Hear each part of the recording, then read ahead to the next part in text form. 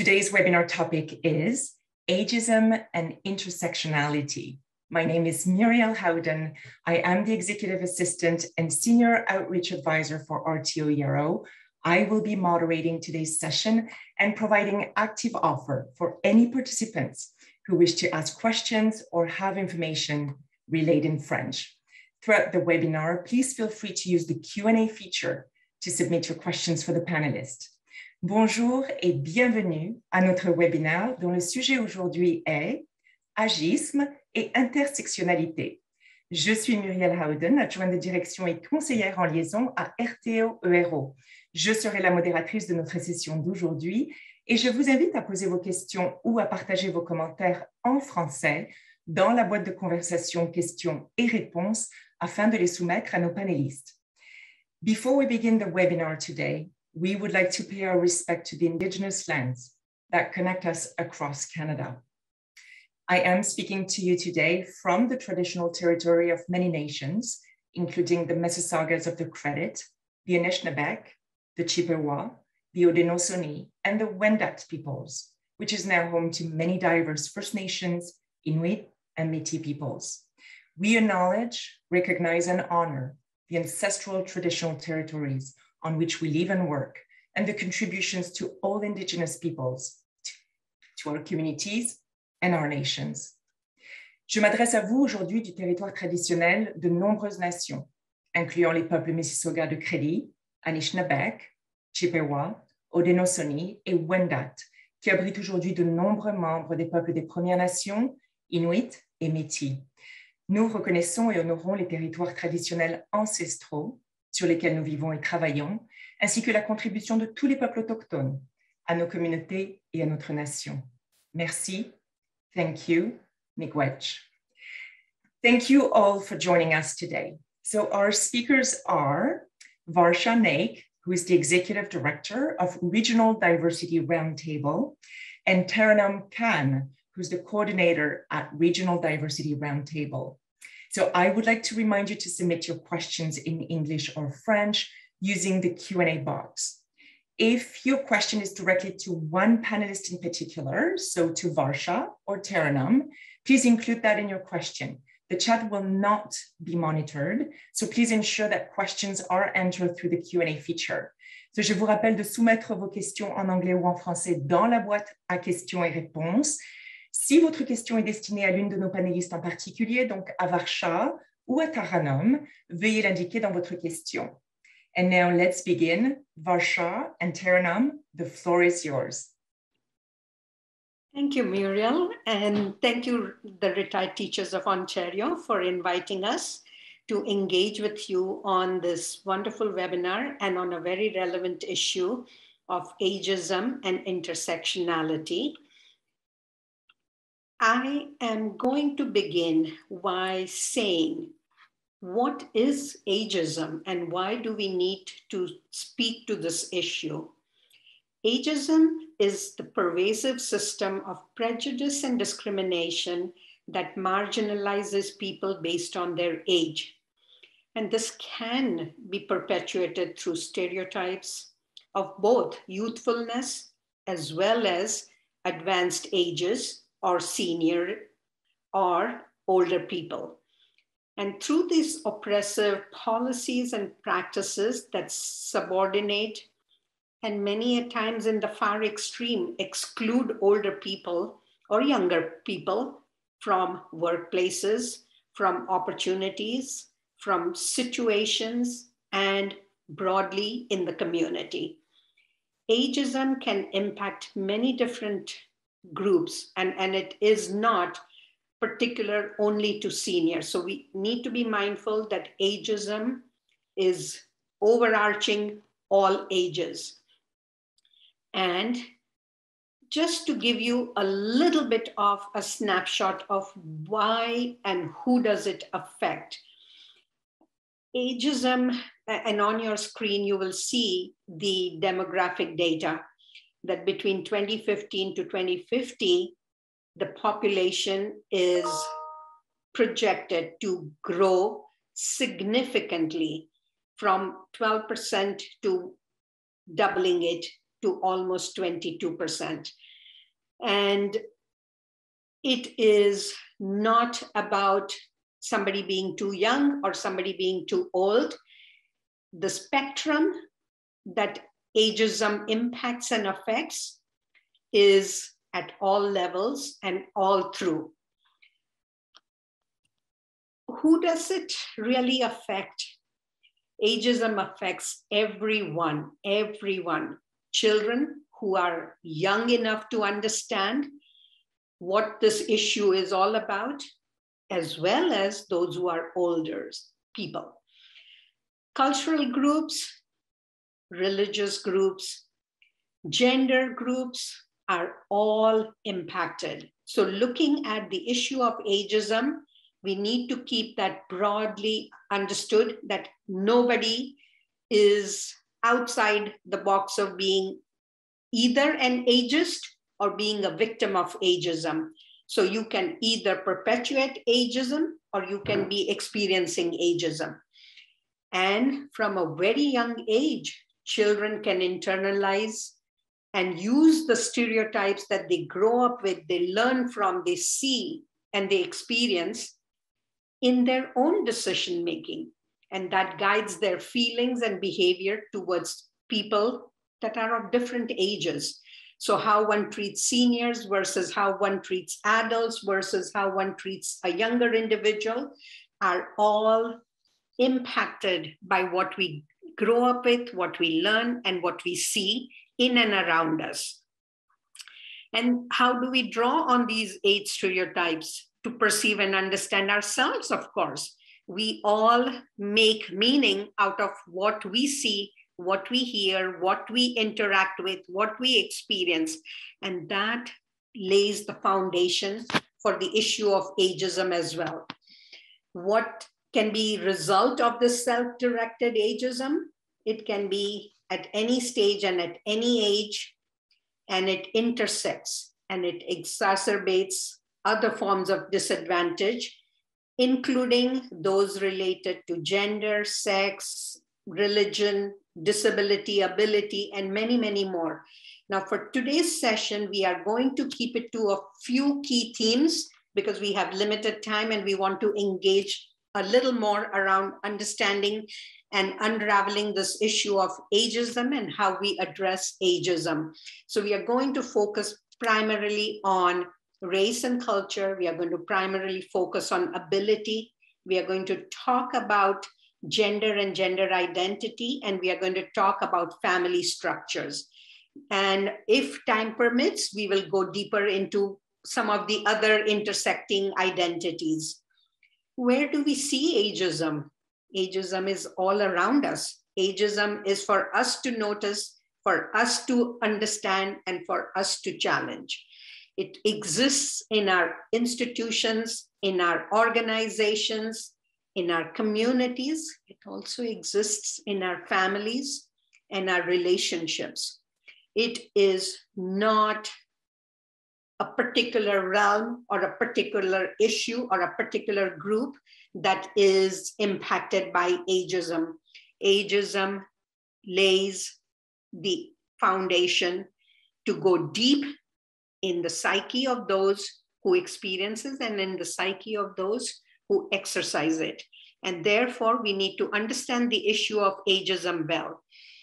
And we need to definitely ensure that we do not patronize, we do not stereotype, we do not create and perpetuate the issue of ageism.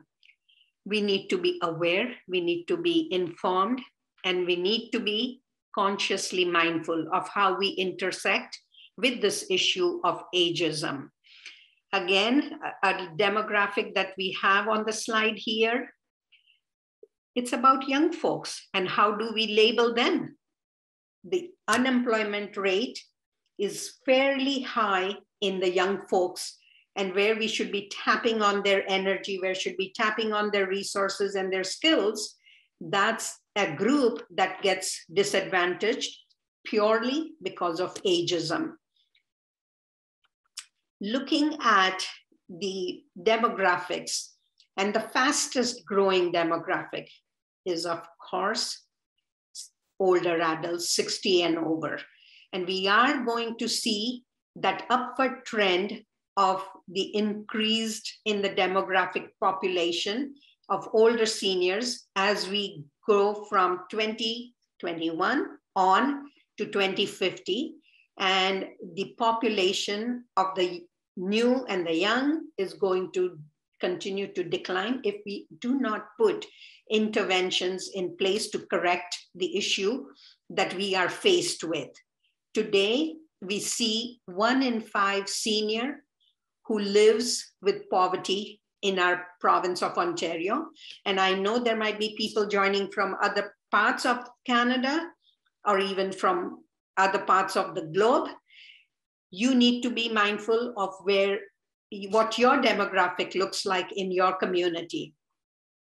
Why is ageism a problem? Well, half of the world's population is ageist. And that is a fact that we cannot hide from. Data is not that clear and it does not unpeel the layers of identities in that demographic data. So disaggregated data is a gap in understanding ageism as it intersects with other identities. And we definitely want to look at that issue. If you see the chart on the screen right now, there are only two components of identities that are reflected in this chart gender, and, and again, the more traditional gender assigned roles, male versus female, and the various age groups. And as you see, a range of issues unfold. We see longevity, we see lifespan decrease, we see the imbalance in the demographic proportions of both males and females as the age progresses. And there are underlying and foundational issues that we need to address. And all of these are tied not only to ageism, but ageism is a huge contributor. Health and well being are impacted when people experience ageism. And we are going to talk a little more at length about this. Ageism can change how we view ourselves, it can erode solidarity between generations. It can devalue or limit our ability to benefit from what younger and older populations can contribute to making our society, our province, our nation operate at its maximum capacity. It can impact our health, longevity, and well being, while also having far reaching economic consequences. And there are historical, social, and political issues that continue to impact the issue of ageism.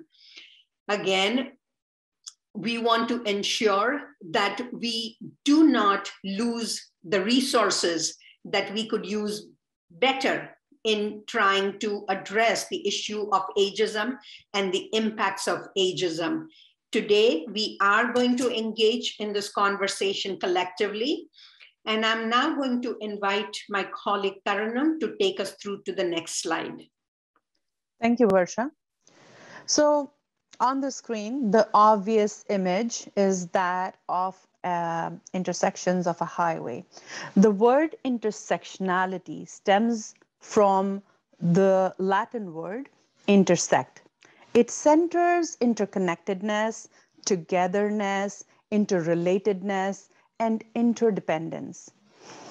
Um, intersectionality is defined as an analytical framework for understanding how aspects of a person's social and political identities combine to cre create different modes of discrimination and privilege. The term intersectionality was conceptualized and coined by Kimberlé Williams Crenshaw in 1989.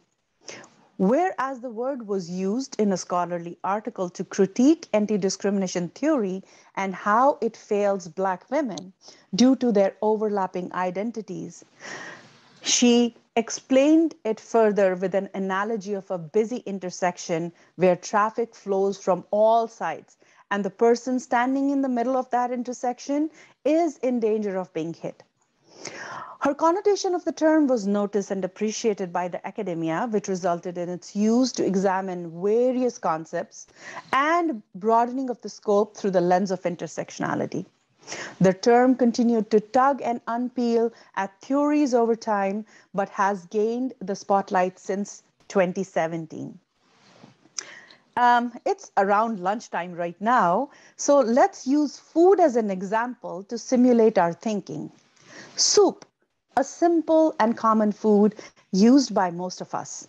I invite you to think of the multiple ingredients that are cooked together to make a perfect bowl. It is full of flavors, the right balance of salt and sweet, finally followed by the heat of the spice. To me, that is intersectionality, the coming together of feelings, sensations, memories, culture, and more. The experience of age discrimination may differ based on other components of a person's identity. For example, certain groups of older people may experience unique barriers as a result of the, the intersection of age with gender, disability, sexual orientation, race, ethnicity, religion, culture, and language. But I would like to uh, bring forward a quote by our very own Varsha Naik, which states, don't get lost in the vortex of complexity. With that, I hand over the next slide to Varsha to take us forward.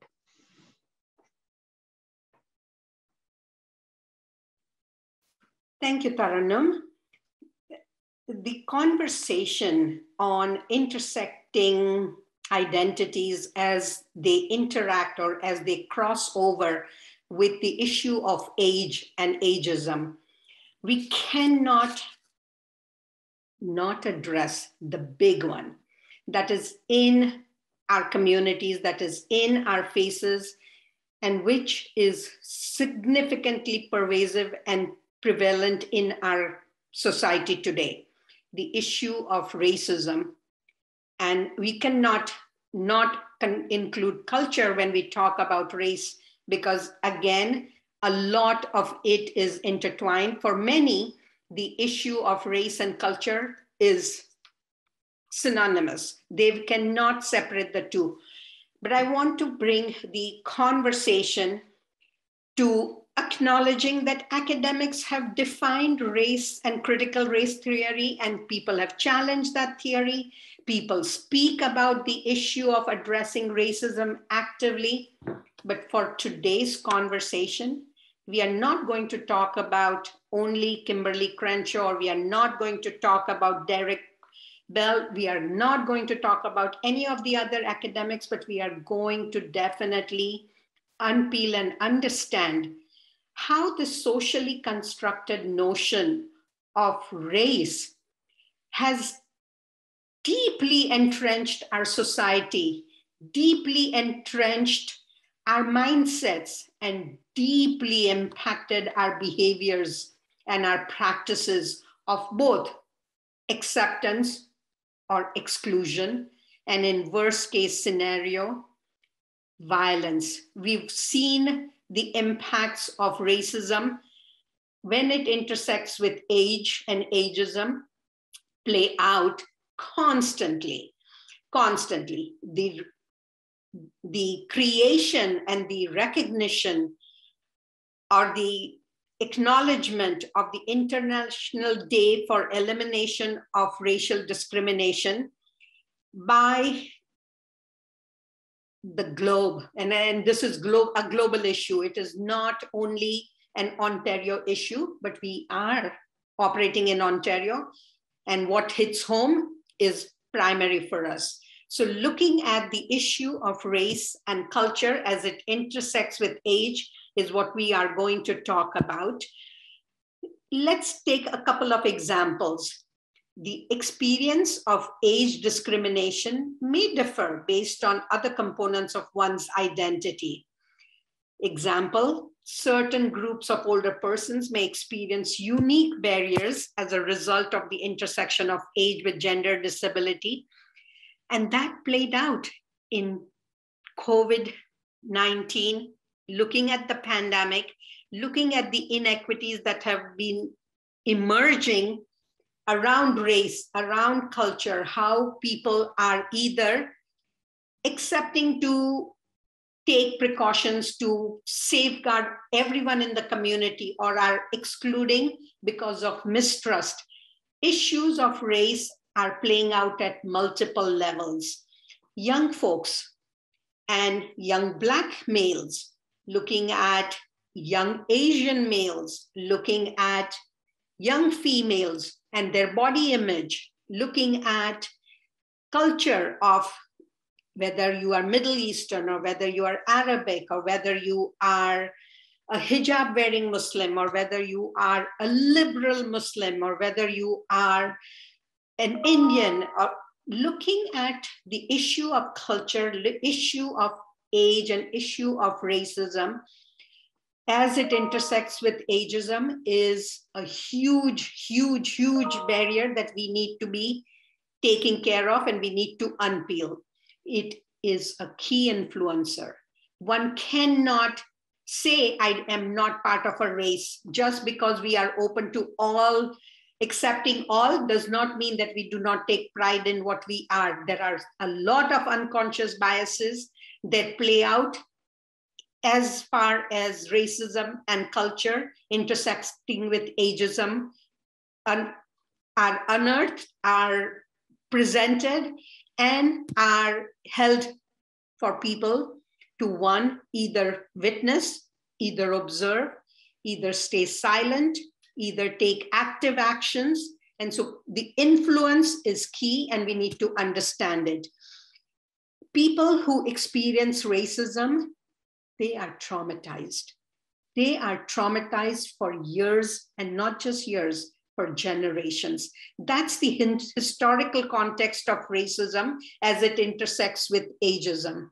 Young Black youth and the issue that has come up with Black Lives Matter, looking at issues of feminism and not including racialized women in that conversation at the get go.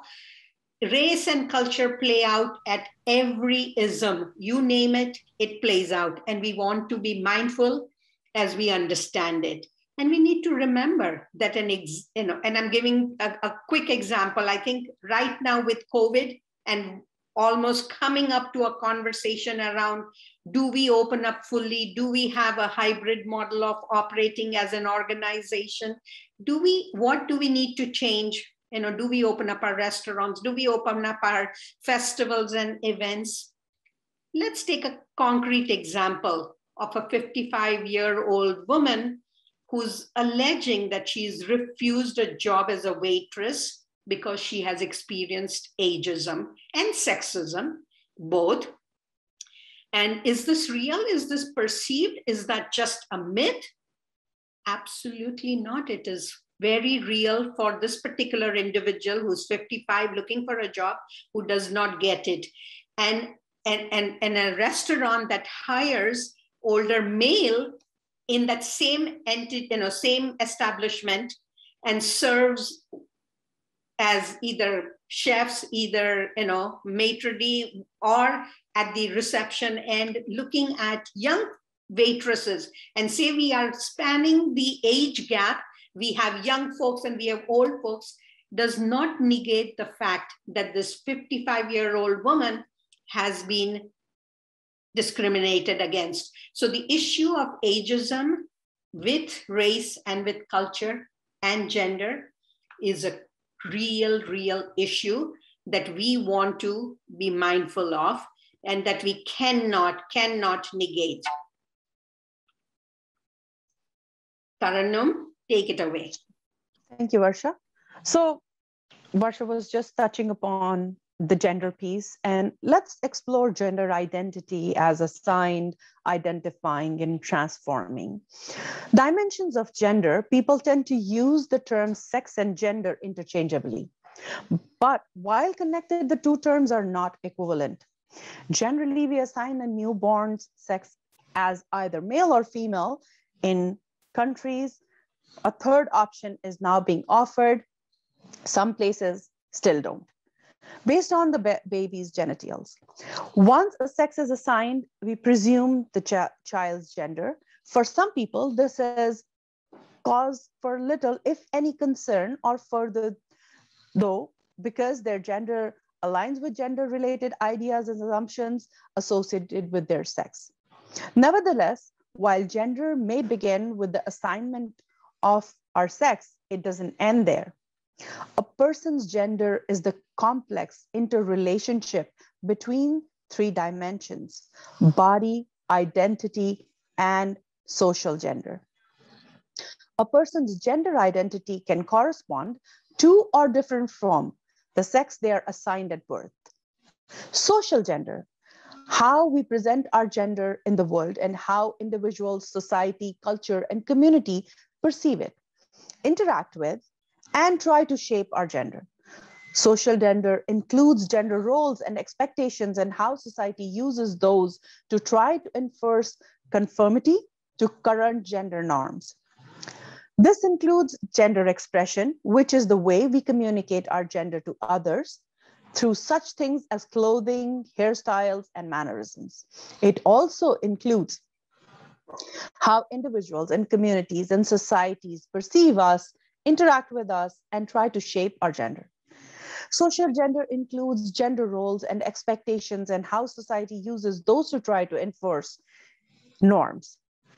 Each of these dimensions can vary greatly across a range of possibilities and is distinct from but interrelated with the others. A person's comfort in their gender is related to the degree to which these dimensions feel in harmony. Let's speak about congruence. Gender congruence is the feeling of harmony in our gender, experiencing comfort in our body as it relates to our gender, naming of our gender that adequately corresponds with our internal sense of who we are expressing ourselves through clothing, mannerisms, interests, activities, being seen consistently by others as we see ourselves. Finding congruence is an ongoing process through each of our lives as we continue to grow and gain insights into ourselves. It is most often found through exploration. For some, finding congruence is, sim- is simple. For others, it is much more complex. But the fundamental need to find gender congruence is true for all of us. And any degree to which we don't experience, it can be distressing. Transitioning is a term commonly used to refer to the steps a transgender, agender, or non binary person takes in order to find congruence in their gender. A transition is taking place, but is often other people, parents and other family members, support professionals, employers, etc., who are transitioning in how they see the individual's gender and not the person themselves. For the person, these changes are less of a transition and more of an evolution. Instead of transitioning, a more apt phrase is pursuing congruence measures. With age and ageism as identifiers, we also want to flag the relevance of gender and gender identity as it contributes to the challenges one encounters through their life. Varsha, would you like to take the next slide, please?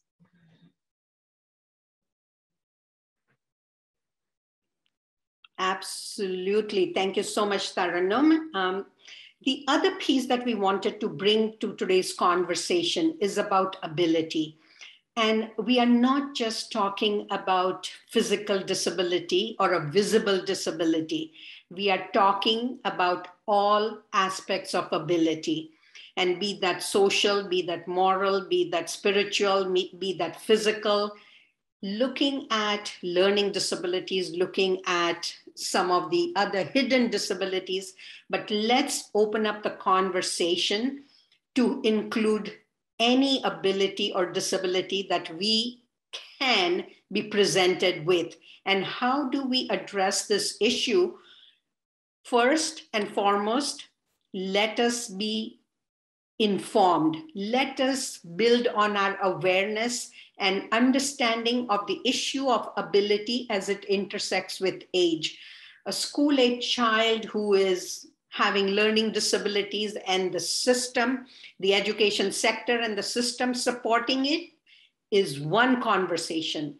But a senior who's living alone and family being at a distance or have moved on with their lives, and a single individual living by himself or herself or themselves and having to cope with the challenges of the day to day life. What does that mean for that particular individual? How do we bring care and inclusion for that senior? So, looking at the issue of awareness building is critical in responding to ability as it intersects with age.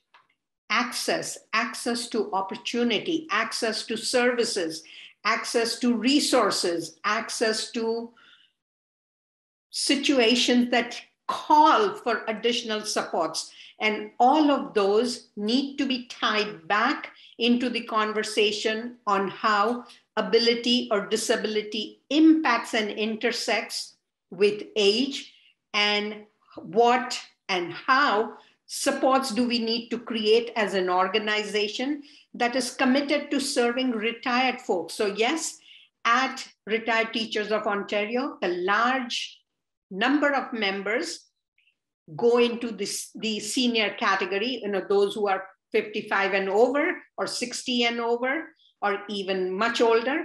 But at the same time, we cannot negate the fact that we are part and parcel of a community. We are part and parcel of society. And how do we continue to build our awareness and understanding on the issue of ability and disability as it intersects with age is a critical component of this conversation today. And we are going to respond to some of your questions now as I call Taranum back to take us to the next conversation. Family, as you can see on the slide, for some, a blessing, and others, not so much, specifically when looking at it from the crossroads of whether and how one is accepted or not. Having a family that offers care and support without a paternalistic approach is desirable and one that enforces its own perception, not so much. If we are not mindful, ageism can easily creep into our subconscious and influence personal health beliefs and behaviors to impact family and relationships. Our ideas of aging don't grow in a bubble. We learn them from our family, community, and culture. Aging scripts can be positive or negative. They can play a role in whether one remains healthy and active throughout the full lifespan or declines into dependence as one ages. Family aging scripts can also determine what happens if a family member needs assistance due to an illness, injury, or permanent functional challenge. We all know that transition is a part and parcel of life roles change, such as parents to grandparents, spouse to that of a widow, or partner to a caregiver. More often than not, not unknowingly or knowingly, we perform multiple roles all at the same time. Personally, I strongly believe that age is how one feels inside and is not defined by a number. You, being a community of Canadian educators, may have read Margaret Laurence's Stone Angel and how Hagar Shipley defies aging and refines it more as a willpower and perseverance. Varsha, please take the next slide. Thanks, Taranum. And the next big piece that we wanted to bring to you is the issue of classism. The haves with the have nots that make up our community and society, the comfortable with the challenged and disadvantaged is what we need to be mindful of as we again speak to the issue of ageism as it intersects with classism. And in classism, I specifically wanted to touch upon a few things there are many who have wealth which is inherited. Nothing wrong in that. Nothing wrong in a family being well off. but how does that particular family recognize its privilege that it carries with having that wealth? Was it really completely without any bias that it was earned? Absolutely not. Many a times, generational wealth does not come without a cost. And we need to be mindful of that conversation as we talk about ageism, you know, whether you are a young adult who has earned your millions through the tech industry, whether it's your earned privilege, what are you giving back in terms of your peers, in terms of your older adults, in terms of your young, you know, gendered females. You talk about the issues that emerge with ageism and classism is significant again. Opportunities that senior ha- seniors have to either healthcare, to the needed you know, supports, home care. You talk about social isolation, you talk about exclusion, you talk about the complexity of having to work even when you are 70 or 75 because you can't make the rent otherwise or you can't continue to sustain yourself. So looking at issues of classism is another whole piece around how oppression intersects with the issue of classism and ageism and we need to understand that oppression is also layered and we need to understand that cross sections that Taranum earlier spoke about with Kimberlé Crenshaw's example, that it almost hits you. And, and classism is another issue that hits people of all ages. Whether you have something, you are resourced enough, or you are going to lack the resource and supports because you are struggling and you are disadvantaged. So the issue of marginalization is laden with the issue of classism and ageism, and we need to be mindful of how we address it. Taranum, is it me next or is it you next? It well, is me next. And uh, talking about, we've talked about few key issues that intersect with ageism.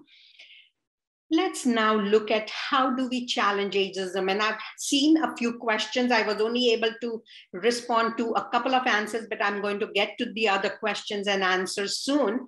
But i want to address the issue that challenging ageism again is everyone's responsibility. It is not only about one particular organization or one particular subgroup or one particular age group to speak about and challenge the issue and, and work towards finding a solution.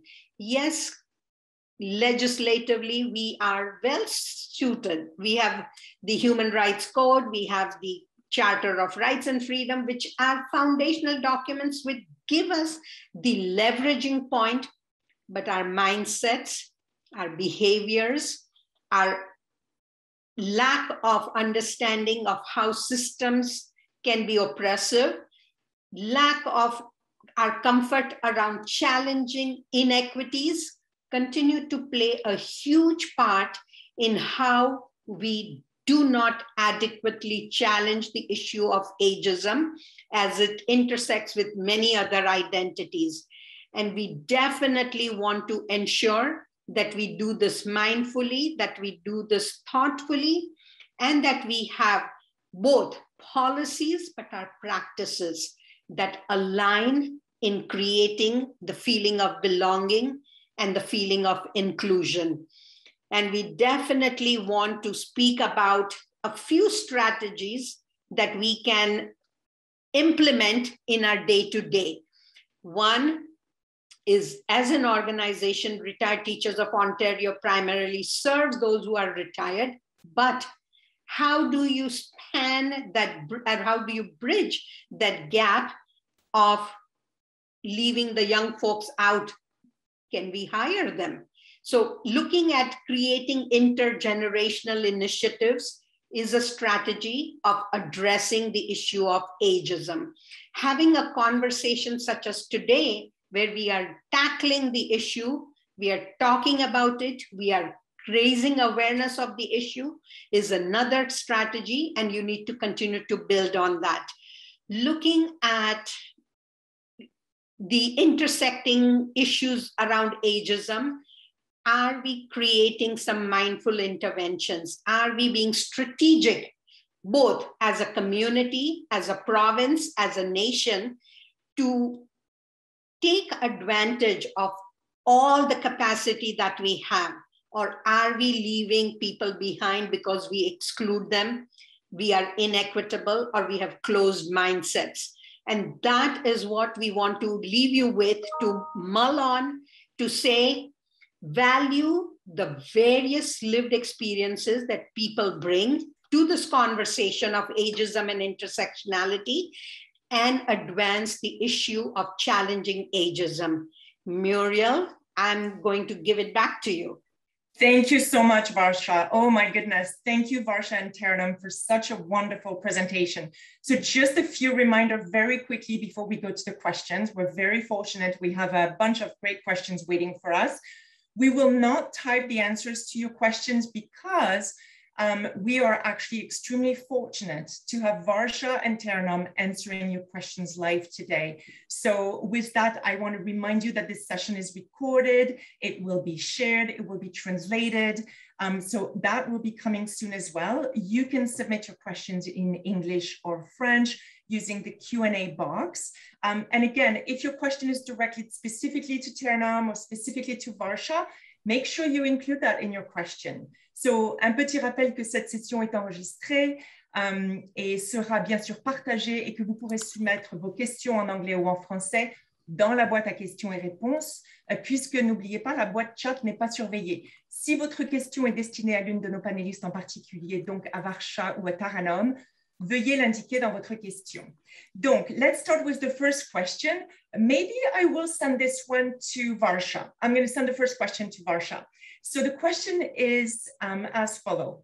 I like your perspective that ageism is something that affects both the young and the old.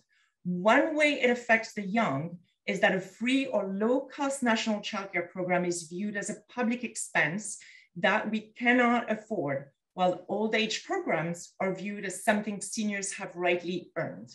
What are your thoughts on that, Varsha? Thank you, Muriel. And I think great question.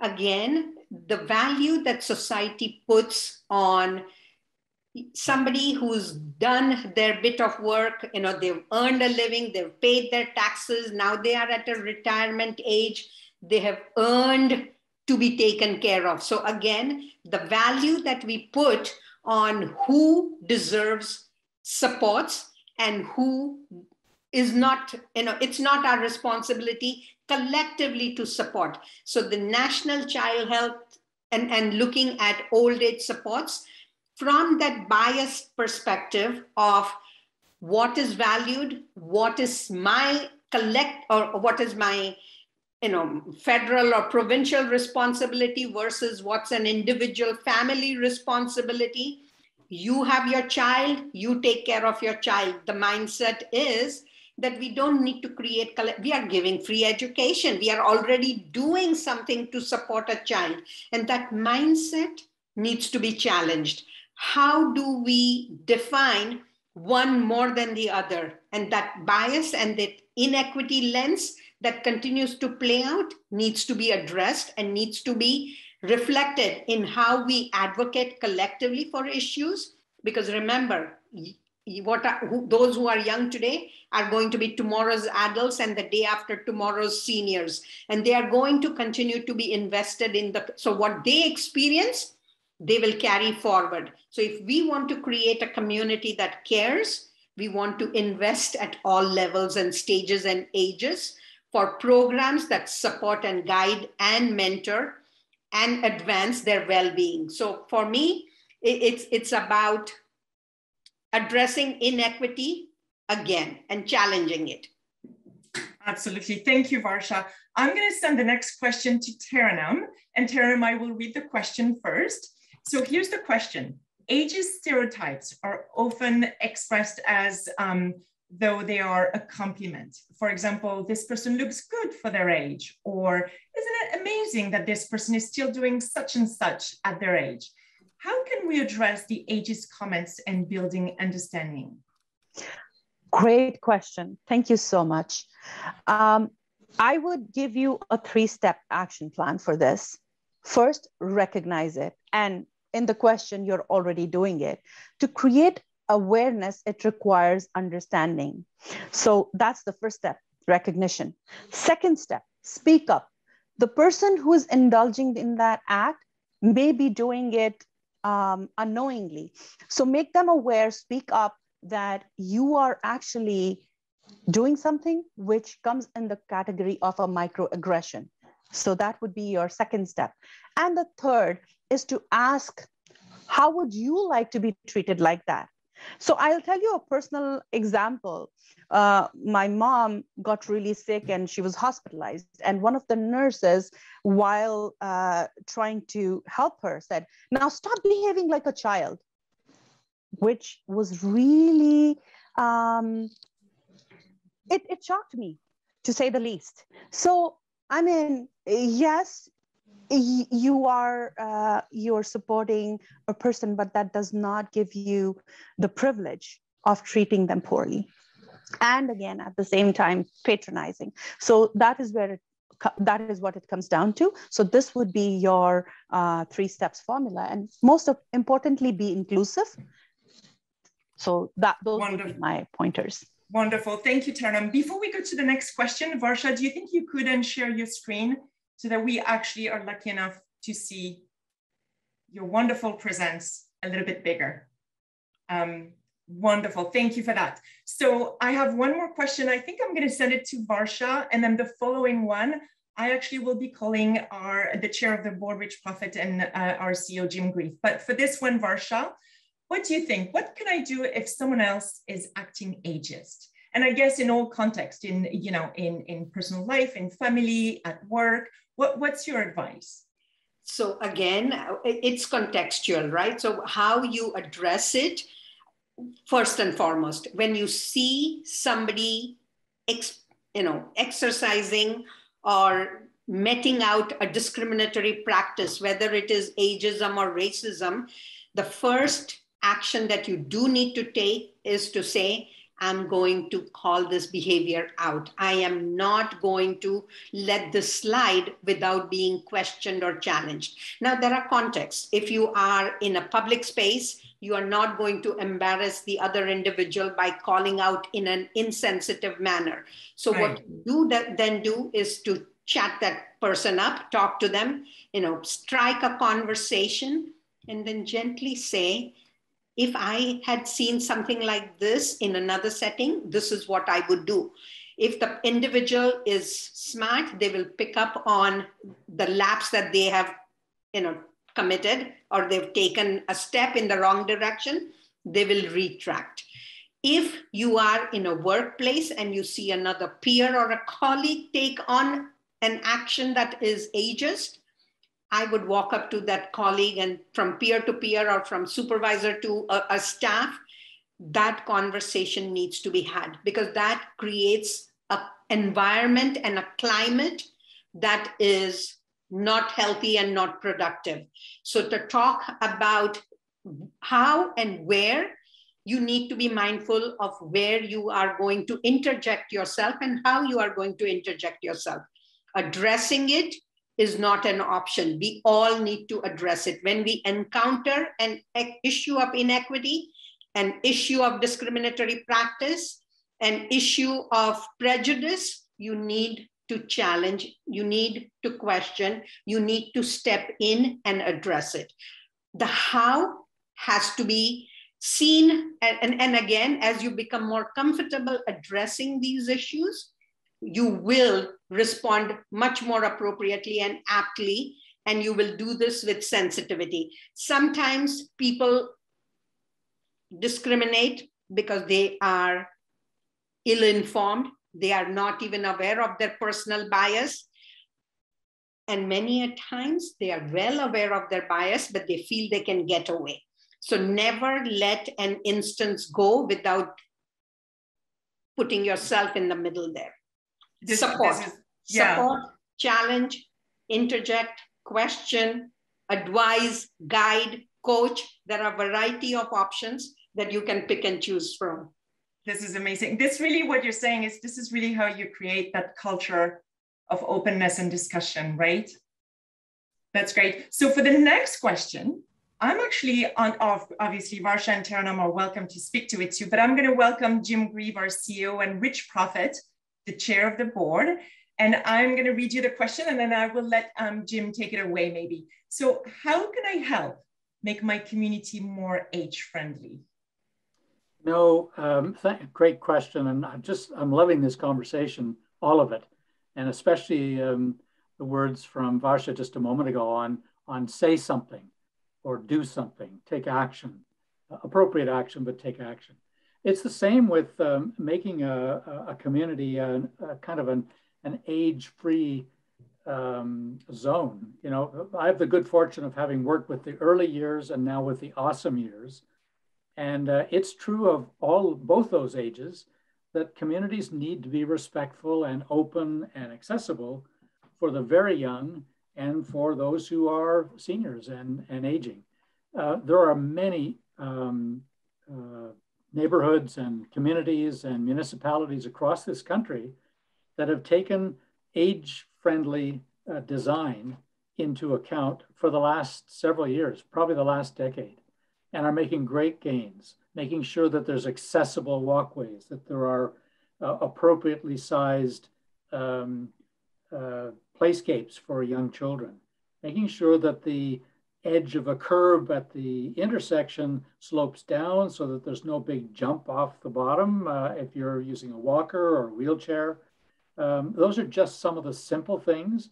And it's really more being observant, you know, as a, as a community member, saying to yourself, where are there opportunities for this municipality or even this neighborhood or even in front of my own house how can I make sure that those who are very young or those who are a little on the older uh, end of the spectrum can be safe, can be you know accepted as they walk past or walk through. Uh, there are umpteen ways. There are whole organizations dedicated to age friendly right now. Just look on the website. You'll see that uh, there are communities like Thunder Bay and Kingston and uh, even Toronto and Peel that have done great work. Every time there's a change in the road pattern or a change in the sidewalk system, there are opportunities to embed um, uh, sensitive pads at the intersection so that those who are visually impaired uh, can know that they're coming to the edge. And the same is true for those who uh, are um, hearing impaired, getting an opportunity to have a bit of a, a louder audible sound when the light is in your favor. Uh, there are just so many other areas that that uh, that can happen, and I'm glad to see that across the country, uh, many municipalities are doing that. Looks like Varsha wants to say something too. Yeah, go ahead, Varsha. Thank you, Jim. I think you touched upon a very valid point, and many cities, you're right, many of the regions uh, across our nation are engaging in building age friendly cities but I think the structural, you know, in, input that people are doing, even in the co-design work, is absolutely critical and needed. But I think let us not keep it only to building a age-friendly city. We need to live to be age-friendly. And how do we interact? How do we create programs? How do we have practices and policies across the city you know is our council understanding the need to be age friendly are our political leaders attuned and on the same platform as the rest of the community that is advocating for age friendly cities? And so we need to look at the various points that make up the city. And yes structures landscapes all of that is very important very critical especially as I said, you know, the population of seniors is going to continue to keep growing. That's the projection that we know are going to come true, and are we prepared for it? But we also not forget that there are other ages and stages, and how do we create that bridges of intergenerational work as a community is are equally critical. This is why I like working with Varsha. Good team. yeah, this is amazing. Fantastic. Well, the next question actually is very much in that line because it's really between, and maybe Jim, we can keep you a little longer because I, I suspect you'll have something to say on that, but it's really between the, you know, the questioning and actually moving to action. So I'm going to read Louise um, Q&A because it's actually worth um, reading and, and, and, and discussing. So, so many letting go of the um, old for new eyes and almost every piece of our, in almost every piece of our lives. I have heard that OPSI can process and address empathy for one issue or person and act upon what they see. But when we go to two issues, empathy decreases as well as caring and willingness to act. As soon as we bring larger groups, how, um, how then can expectation be that generations will move towards more caring of others and act on changing racism, ageism, and all the other issues brought to our attentions? Awareness is great, but actions are needed. Many feel overchallenged and seem to be pulled back rather than going forward. So here's the question How do we move forward through the stormy waters um, that we have not planned um, for, especially in our retirement? So, what would you say? And Taranum, of course, you are welcome to add your comments on that one. So, it's really more going from, you know, this awareness to action um, and especially in, in, you know, in retirement years. Um, how do we how do we move? So it's, it's really I'm, I'm asking Taranum, Varsha, and Jim. Shifting to the action. So Taranum, you want to go first? Sure, Varsha. So um, talking about action, action starts with advocacy. Um, challenging the status quo, making sure the perceptions that people are engaging in are questioned, addressed, and then there's a plan. There's a plan uh, where we see inter intergenerational engagement so that those bridges the, the wealth of knowledge that um, people older adults are bringing can seep into the younger minds. And then that um, that that inter interconnection then that integration can happen. Uh, there is value. And i and i honestly i do see that uh, there there is a shift in mindset because we are uh, recently seeing more intergenerational projects coming uh, into shape and fruition and there is data now being collected but definitely more work is required. And i'd, I'd uh, ask varsha to go about and uh, uh, give us some strategies that she feels could actually benefit Thank you, Taranum. Uh, what I would say, Muriel, is that you definitely want to create opportunities with academic institutions that are local, that you want to create the not for profit sector that is local, and you want to engage the public and government bodies to work collectively on creating older adult initiatives. Cities are now very collaboratively creating older adult initiatives, and those are a must. You definitely want to ensure that your older population sees that they are valued, that they have avenues in which they can participate. So, not just as a service recipient, but as an active member of the community, are we optimizing and are we utilizing all of their knowledge, all of their life's wisdom, all of their skills, all of their life experiences to build on initiatives that will advance where we need to go as a collective group. I think if we fraction away saying we want to only create one program for 60 to 70 and we want to create another program which would be you know home care bound etc for 75 plus and over those are needed because there are individual needs that it meets but as a community what are our needs as a community what will we create as a thriving community that takes pride in valuing all its residents. So whether it be a young student in a school or an earlier student who's just beginning their life journey, or it's a senior in a residential home and who, ne- who needs supportive care, or whether it is an independent adult or a senior who is able to volunteer and give back in the community. But we need to create initiatives that create opportunities for people to see themselves fitting in. So whether it's an older adult advisory committee as a city that we create, which takes the needs into account, which takes the abilities or, or, uh, assets. What assets does a community have? in terms of its strengths, in terms of its challenges and its opportunities? And is it taking advantage of all of those? So, a needs assessment is another component or a strategy that we need to implement that will give us the results where we want to go. Wonderful. Jim, did you want to add anything? Just, just uh, one of the reasons I love working with RDR and with Varsha and Taranum is because they not only give you the words about you know, how you go about uh, creating action. And that's Louise's question is how do you move from this uh, sort of deeper understanding and awareness to actually moving to action?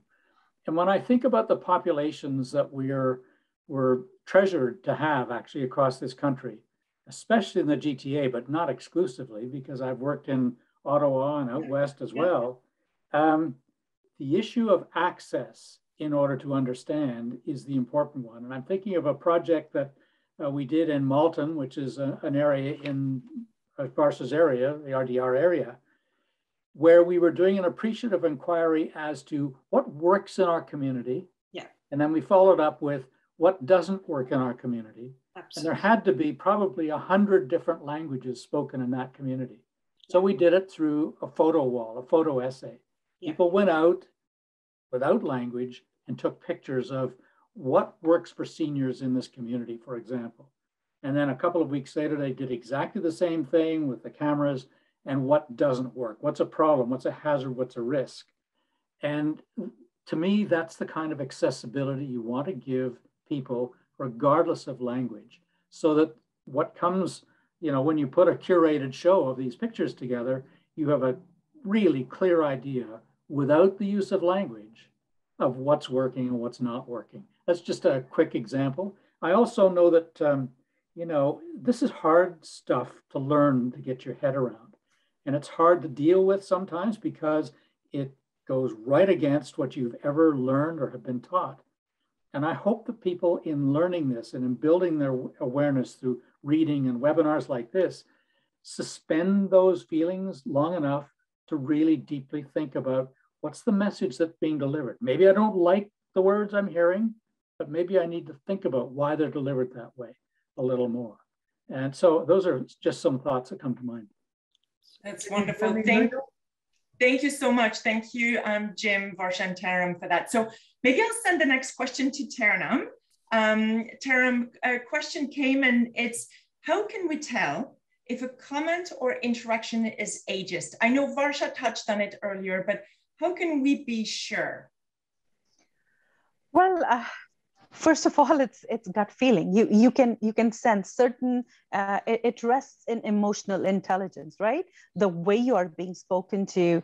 Um, uh, acting as if you're talking to a little child, where we slow our speech, where you can tell a person is engaging in a behavior which is not appreciated. So um, in this context, it, it, it is a feeling, it's an emotional intelligence response where you know that the, the statement or the comment is not, uh, not something is not being presented the way it should have been. Let's say that way. So first is that. But then there are giveaways um, certain words the the way the vocabulary is being used. To, for example if it's a nurse um, helping a senior uh, an example would be oh so let's um, so we are going to get dressed now. So the the the terminology yeah. is is a clear indicator. So look out for terminology. It would be the second one and sometimes people do it unintentionally and again i'll go back to my first point so if you see that happening um, question it question the intent yeah, that, that is such a great point. Thank you, Taranum. I'll send the next question. So just so you know, we have a few more uh, minutes. And so we'll take a few more questions. It's, it's been incredible. So um, hopefully we're going to fit fit few more. Um, so next question I'm sending to maybe Varsha, a question from Nandini.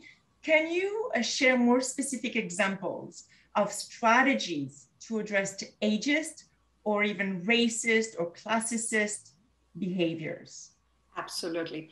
So uh, one strategy that we've actually implemented to very good practice use in the region of Peel. So let me let me pull that one up.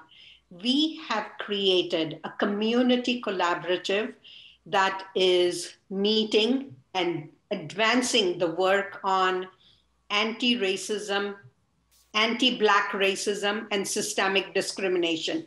So we are naming the work that we want to do. So begin by not shying away from taking a positive step to say, I am going to name the issue. Yes, racism exists in my society. Yes, racism exists in my neighborhood. Yes, ageism is a lived reality for many in my community, and I'm going to call it out.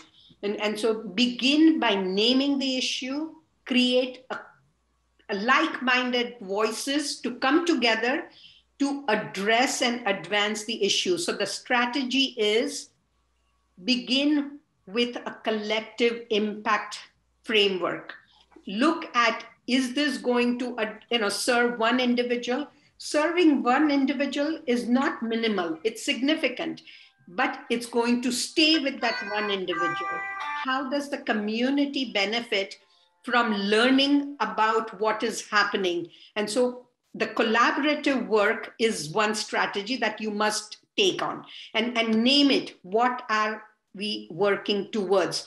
Are we going to reduce racism? Are we going to reduce instances of ageism being reported? Are we going to focus in on the education sector where ageism is experienced daily by young folks? Are we going to focus on recreational facilities for seniors, which are discriminatory in terms of their access and their use, which are not AODA compliant?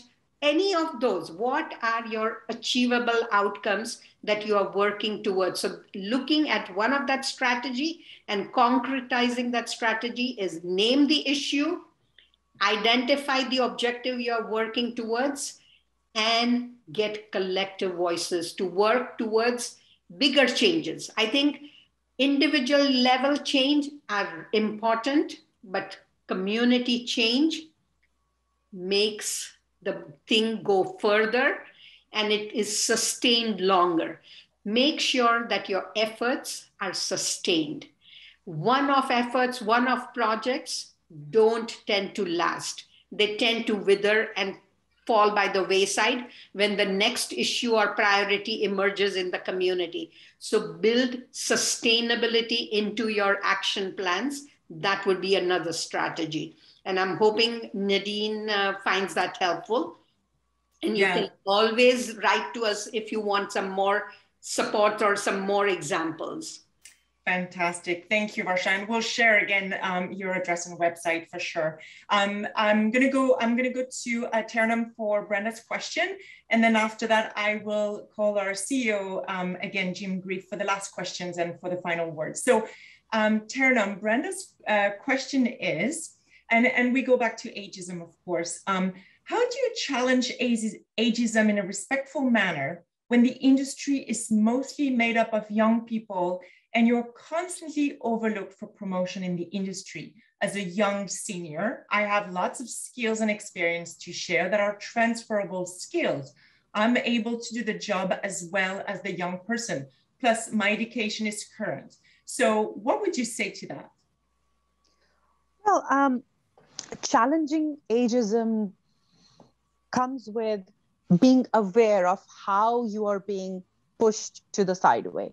So, when you realize, first of all, uh, there are regulations around it. So that that would be the first step because if you're experiencing it in an employment situation, then there are regulations that you can um, have a conversation with your supervisor, have a conversation with the HR, uh, point out your concerns, do it in a very um, mm, a respectful and um, sensitive manner.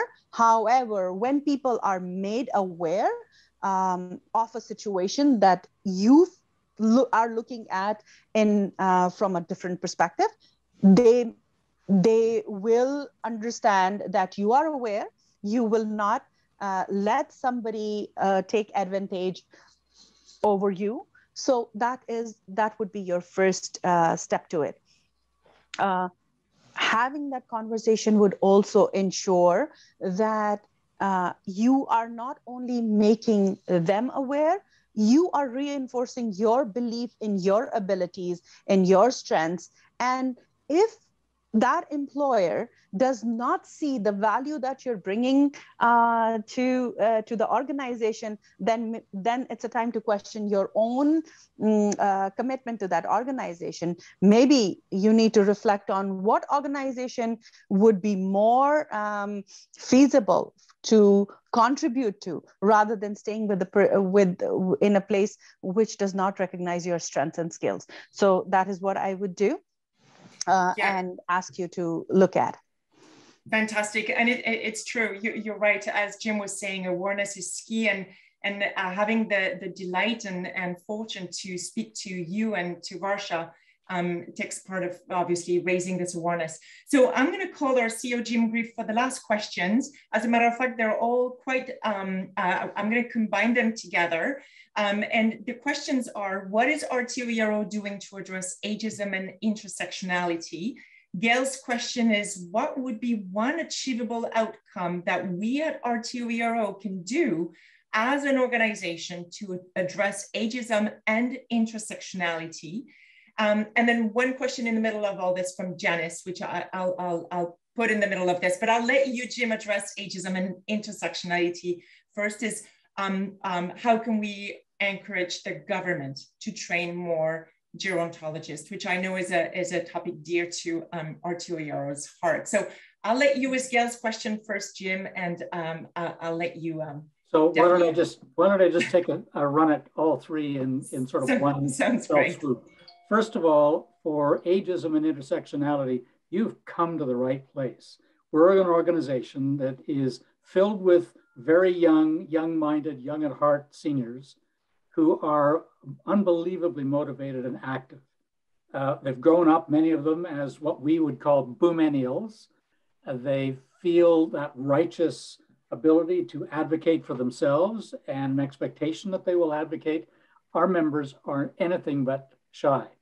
So when it comes to advocating for um, age-friendly communities, uh, uh, you know, anti-ageism or the intersectionality, our members are more than happy to step forward. They do step forward respectfully, but with insistence as well, uh, which is just born of being sort of boomenials, and it, it comes along with, with uh, that territory. We're also very much a learning organization. We're committed through our strategic plan to um, diversity, equity, and inclusion, anti-racism, anti-oppression, making sure that the issues of intersectionality are at top of mind. And we're doing as much as we possibly can to build that awareness and really to empower that advocacy among our members. And we've started slowly. We've done that with staff and with the board. We're about to move to work with the um, committees and with our, our 51 districts as well. So those those kinds of issues, I think, are the proactive um, stance that uh, that members like those who are asking these questions are looking for. Uh, in terms of advocacy around um, geriatricians or geriatric medicine. It's one of our key um, Vibrant Voices initiatives. These are our advocacy initiatives. We've been after the federal and all provincial governments on the issue of uh, geriatricians. I think there's something like 315 geriatricians for all Canadians.